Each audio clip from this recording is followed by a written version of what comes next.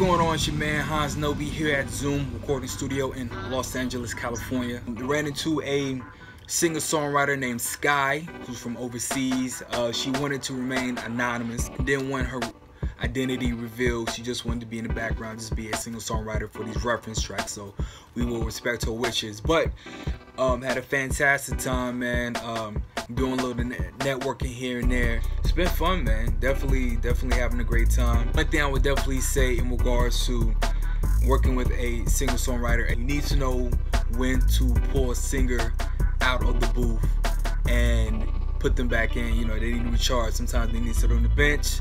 Sometimes they need to get back in the game. But that's my tidbit for today's producer minute. The follow button on Instagram. Peace.